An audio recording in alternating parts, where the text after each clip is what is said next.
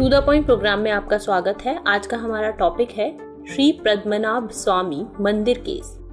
आइए जानते हैं यह चर्चा में क्यों है। श्री पद्मनाभ स्वामी मंदिर को लेकर चल रहे विवाद पर सुप्रीम कोर्ट ने फैसला सुनाया है।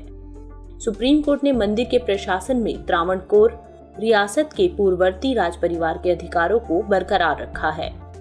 इस निर्णय से श्री पद्मनाभ स्वामी मंदिर को लेकर सरकार और त्रावणकोर राज परिवार के सदस्यों के बीच चल रही कानूनी लड़ाई खत्म हो गई है। आइए जानते हैं मंदिर प्रबंधन का इतिहास। भूतपूर्व रियासत, प्रिंसली स्टेट त्रावणकोर और कोचीन के नियंत्रण वाले सभी मंदिर 1947 से पहले त्रावणकोर एवं कोचीन देवास्वोम बोर्ड के नियंत्रण में थे। त्रावणकोर के भारत में विलय होने के बाद भी पद्मनाभ स्वामी मंदिर का प्रशासन त्रावणकोर राज परिवार के नियंत्रण वाला ट्रस्ट ही देखता था। 1991 में त्रावणकोर के अंतिम शासक चिथिरा थिरुनल बलराम वर्मा की मृत्यु के बाद उनके छोटे भाई उत्तरादम थिरुनल मार्तंड वर्मा ने मंदिर का प्रबंधन अपने जिम्मे ले लिया। आइए जानते हैं क्या था विवाद। 2007 में उद्वादम थिरुनल मार्तंड वर्मा ने दावा किया कि मंदिर का खजाना त्रावणकोर रियासत के पूर्ववर्ती शाही परिवार की संपत्ति है। इस दावे पर आपत्ति जताते हुए कई मुकदमे दायर किए गए और केरल की एक निचली अदालत ने तहखाने खोलने के विरुद्ध निषेधाज्ञा पारित कर दी। फिर केरल के हाईकोर्ट ने 2011 में राज परिवार के विरुद्ध फैसला सुनाया और मंदिर के मामले को मैनेज करने के लिए एक बोर्ड बनाने का आदेश दिया।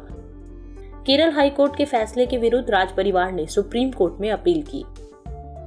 सुप्रीम कोर्ट ने 2 मई 2011 को हाई कोर्ट के फैसले पर रोक लगा दी और तहखाने में वस्तुओं की लिस्ट बनाने के लिए दो एमिकस क्यूरी नियुक्त की। केरल हाई कोर्ट के 2011 के फैसले को चुनौती देने वाली याचिकाओं पर अब जाकर फैसला सुनाया गया है। आइए जानते हैं क्या है सुप्रीम कोर्ट का निर्णय।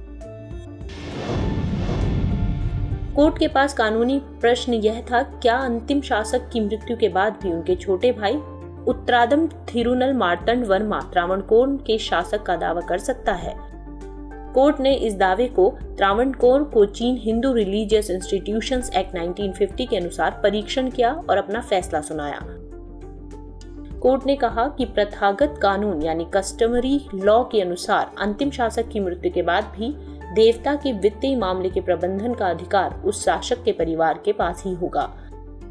सुप्रीम कोर्ट ने तिरुवनंतपुरम के डिस्ट्रिक्ट मजिस्ट्रेट की अध्यक्षता में एक समिति बनाने की भी मंजूरी दी है, जो मंदिर के प्रशासन का निरीक्षण करेगी। आइए बात करते हैं श्री पद्मनाभ स्वामी मंदिर की। यह मंदिर केरल के तिरुवनंतपुरम में स्थित है। इतिहासकारों के अनुसार यह मंदिर आठवीं शताब्दी का है। हालाँकि वर्तमान के मंदिर का ढांचा 18वीं शताब्दी का है, जिसे तत्कालीन त्रावणकोर के महाराजा मार्तंड वर्मा ने बनवाया था। मंदिर वास्तुकला की अनोखी शैली चेरा स्टाइल में बनाया गया है। इसके मुख्य देवता भगवान विष्णु हैं, जो शेष नाग, सभी नागों के राजा पर अनंत शयन मुद्रा में हैं। इसे भारत के वैष्णव परंपरा से जुड़े 108 पवित्र मंदिरों में से एक माना जाता है।